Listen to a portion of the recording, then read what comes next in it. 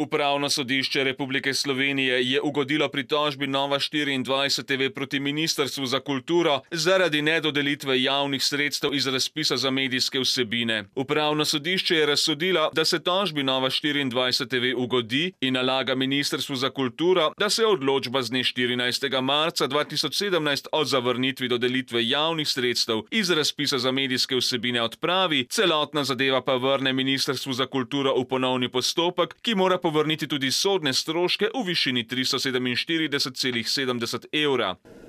Gre za še eno klofuto strani pravne države ideološkim birokratom, ki se namesto, da bi svoje delo opravljali dosledno, prepuščajo politikanstvu.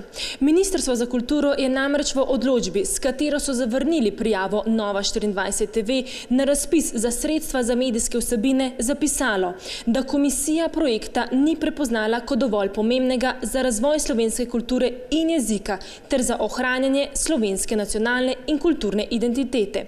Šlo je za redni eh, redni letni javni projektni razpis za sofinanciranje programskih vsebin medijev v letu 2017. Da komisija ni opravila svojega dela in odločala na podlagi določenih kriterijev, temveč na podlagi osebnih političnih prepričanj, je razvidno že samo iz očitanega. Ravno tako pa je komisijo okrcalo tudi upravno sodišče, ki je bilo kritično do odločbe, ki jo je izdalo Ministrstvo za kulturo. Navedbe v obrazložitvi so bile namreč povsem paušalne, abstraktne, v celoti sta izostali opredelitev o ključnih pravno pomembnih dejstvih in argumentirana vsebinska presoja.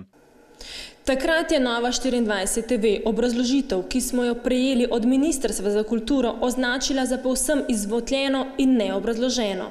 Ta obrazložitev pa po presoji sodišča ne zadosti niti minimalnemu standardu razumne obrazložitve.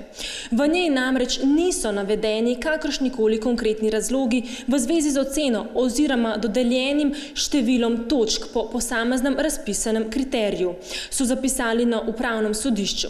Iz ocen, ki so bile priložene v obrazložitvi, namreč izhaja samo mnenje komisije, ne pa tudi potrebni razlogi zanj. Odločitev sodišča je sicer popolnoma pričakovana. Zaposleni na Ministrstvu za kulturo so vajeni deliti sredstva med prijatelji, namesto da bi se držali vnaprej določenih pravil razpisa, je odločitev upravnega sodišča komentiral programski direktor Nova 24 TV Boris Tomašič. Videli bomo, ali bodo tokrat na Ministrstvu za kulturo svojo nalogo opravili spodobno, ali pa bodo še naprej zapravljali čas in denar slovenskih davkoplačevalcev s svojim nesmiselnim politikantstvom.